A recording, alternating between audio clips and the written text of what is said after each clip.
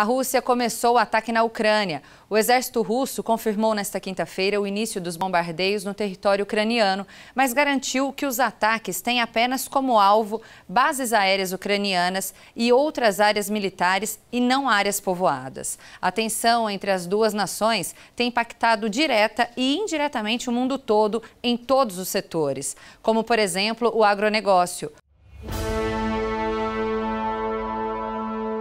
O conflito entre os dois países acaba influenciando nas cotações das bolsas de valores e nos preços das commodities. Só para se ter uma ideia, o preço das principais commodities agrícolas na Bolsa de Chicago tiveram uma forte alta nesta quarta-feira. A maior valorização foi do trigo, que teve um aumento de 3,76% na comparação com o fechamento anterior. A soja teve alta de 2,44% e o milho 1,33%. Esses percentuais são para os contratos com fechamento em março desse ano. Temos que ter em mente que são países importantes na produção de commodities agrícolas. São países que produzem muito milho e trigo. 30% de todo o trigo que é comprado no mundo é originário de Ucrânia e Rússia.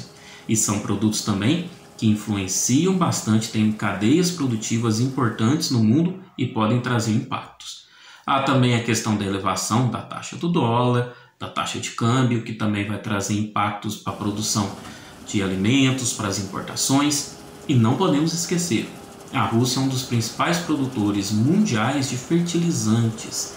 Não tem como nós prevermos o quanto tempo isso vai demorar, porque vai depender de como vai se desenrolar esse problema geopolítico, esse problema dessa guerra, dessa invasão, até quando isso vai perdurar e as consequências vão ser medidas através desse tempo pelo qual esse problema ocorra. E o Brasil pode sentir os impactos dos conflitos entre Rússia e Ucrânia nos próximos dias. No curto prazo, os mercados de petróleo e de grãos, soja, milho e trigo já demonstraram essa influência com a elevação dos preços dessas commodities, já que a Ucrânia é uma grande produtora e exportadora mundial de trigo e milho e a Rússia também é uma grande produtora e exportadora de energia, no caso do petróleo e gás.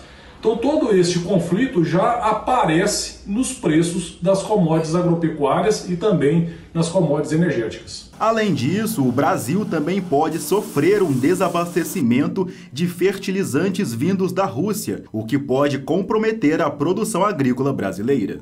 Corre-se o risco de acontecer a interrupção do fluxo destes fertilizantes para o país, pois com a continuação deste conflito, transformando-se em guerra generalizada, há um dano no processo de transporte, cria-se necessidades específicas do esforço de guerra na Rússia em atender a demanda de guerra, prejudicando a produção dos fertilizantes e, com isso, a elevação dos custos desses fertilizantes, o que vai prejudicar a agropecuária brasileira, pois ela é dependente dos fertilizantes russos.